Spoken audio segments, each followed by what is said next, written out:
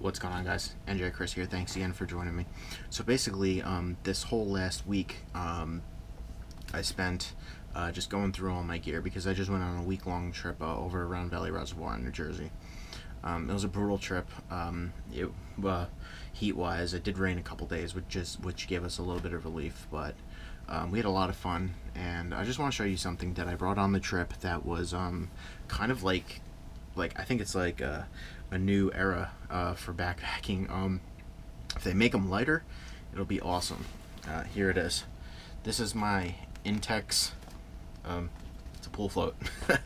Uh, it's not ultra lightweight by any means. It is two pounds, but compared to some of the other air mattresses on the market, I mean it's right around there.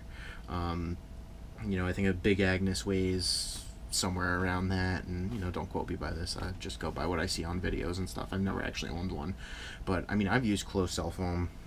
Um, I've used the Thermarest military sleeping pads, and you know the ones that give you this much. Um, it it just doesn't do it to me. It's you know for an entire week I wanted something to be comfortable, so um, I brought this out and I brought a wool blanket out to put under it uh, for an entire week. Now it did weigh about four pounds and it was a lightweight wool blanket, but I basically only put the blanket on the ground in order to um, in order to pet this so it wouldn't pop. And oh my god, it works so good.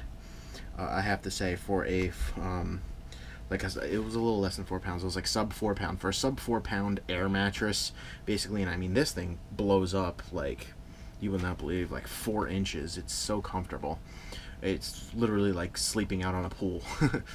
um, the good thing about this too is, and I'll, and I'll show you this, is that you get a whole section right up here that is all pillow.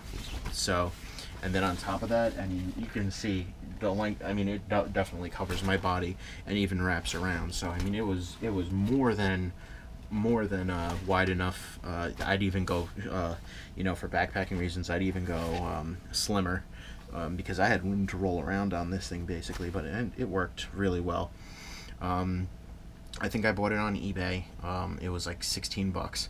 So, you know, for a two pound air mattress basically to bring out in the woods, it worked really, really well uh, and it's cheap and um, this it's made out of a really good density uh, plastic or whatever it's made out of um, some type of whatever I don't know but it's it's a good deal um, I highly suggest that uh, you go out and buy this I was gonna do a review on um, my Thermarest and a review on my closed cell foam pads too but I mean they they just don't compare to the comfort I've had during an entire night of sleep with this. So, um, if you ever want to get a comfortable night of sleep out in the woods,